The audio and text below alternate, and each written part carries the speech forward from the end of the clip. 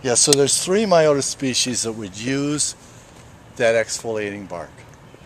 Little brown bat would use it, but if it's got um, a building structure, they'd much rather go to that.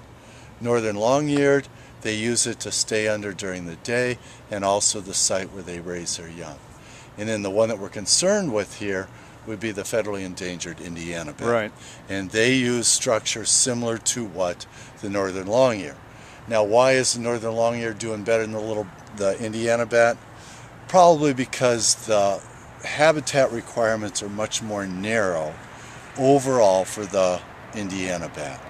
The um, northern long-ear will move up away from some of our wetlands and stuff like that. Okay. So they're more conducive. Plus, I find the northern long-ear, especially during fall migration, will use overhangs like of strip malls and places like that. Oh, really? Whereas the Indiana bat would never, you know, take to a spot like that. So there's a little bit more So the- plasticity the- to the- their lifestyle than the other. the Tricolored bats. Are they- Tricolored bat, we used to call the pipistrelle. Yeah. Okay, they will stay under roof overhangs. I will find them in tree Tree bark. roosts, Yeah.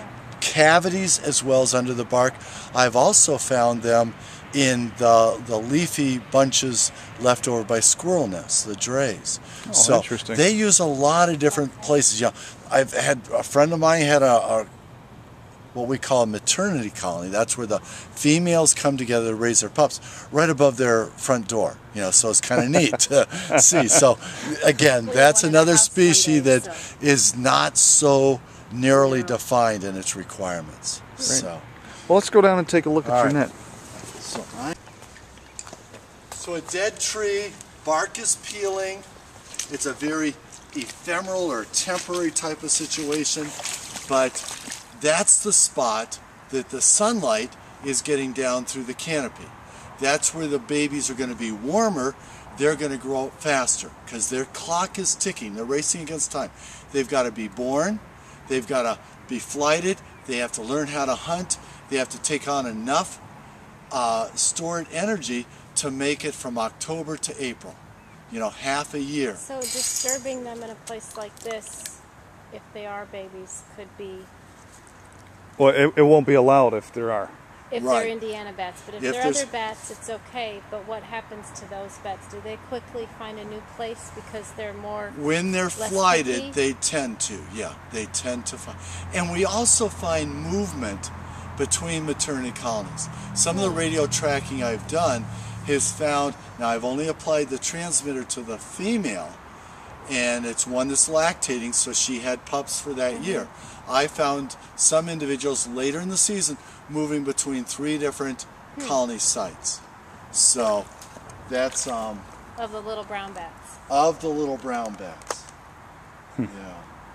And big brown bats are that flexible also? Well, big brown bats will use hollow trees, Uh huh.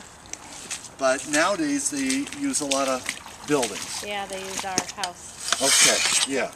So, you know, they were able to find a spot Yeah. where it's warm, and they're the only species around here that will um, overwinter. Mm-hmm. Now, do you have them in your house? Yeah, Yes, we, have we all do. winter. Yeah, and that we hear them. There's some spot there that they found Yep. that doesn't get too warm, doesn't get too cold, and it's just right.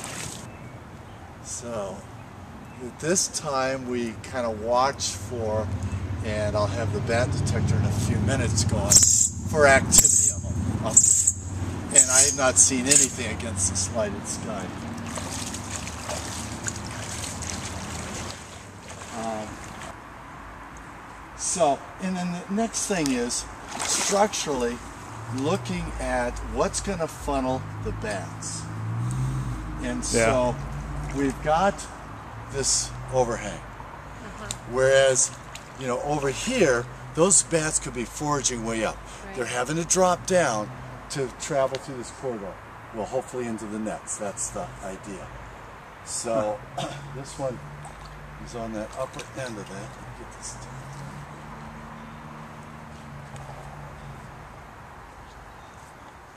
All right, that's set. Merrill's setting the mist net.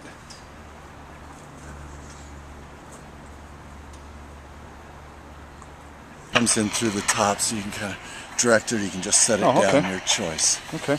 and that just kind of acoustically monitoring what's going on here. And um,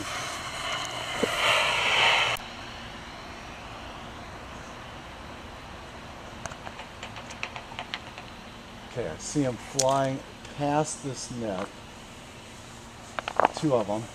Okay. They're zipping in that, that window of light out that way. I don't see them right now. But one thing is where the bats roost and where they feed aren't always the same place. Right. Um, a lot of the uh, females that I've tracked to find their maternity colonies that they're coming at, they'll, they'll be miles away. To, in that effort to try to maintain diversity, be able to, you know, you wonder why so much energy into one species of bat, but we don't know enough to say that you know if the maternity colony's here, then it's X far they went across there, and that that was big enough to be a big brown bat. that I Uh-huh. was catching. The other ones were smaller. There he swoops again, but we're not picking that one up here. Got one little click maybe. Yeah, I can see them. Either one or two. Yeah, I've been seeing two at some points. Okay, I tried changing the frequency, but it's not coming in. So the one we were hearing was much closer to us. The high frequency sounds don't carry very far. Right. So they put a lot of energy into it. You would think, well, why not do low frequency sounds like our marine mammals do that would travel great distances? But But if they're if they're navigating, you know, the high frequencies get blocked, so that must give them more information. well, Low, I, low some of it seems to be around. tied into prey size. Oh, that's true with the Yeah. yeah. So they're matching the wavelength, peak from one to the other, uh-huh. to the prey size. Smaller bats eat smaller bugs, higher frequencies. Yeah. Lower. Or, that was I that just one saw right um, the Just top. saw 'em, Yeah. So you know we've got activity up there, and it's you know we can't get nets up there. Right. Yeah. We're limited in our sampling technique. Yeah. So we do what we can do, but we're definitely never guaranteed of. it. Now, with some of the new uh, detectors that we're able to record and then try to match on a computer uh, program that call to specific species. And the Oh. Indiana bat, what does it have for? It's fairly high, but it's very similar to the little browns and the northern long ears in their calls. But it takes some training, and the, you know, if we look at a recording of an Indiana bat from, let's say, over in um, New York State, and compare the calls here to Toledo area, they wouldn't be the same. There, Really? There's those regional dialects Right. that we'll find. so they just kind of.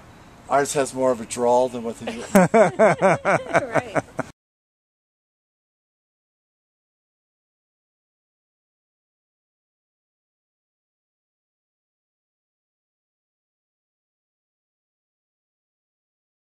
So it's because they're taking advantage of the heat source mm-hmm. on the inside. But if it's too warm where they're at, they're going to use energy too quickly. And, um, oh, I know what it is.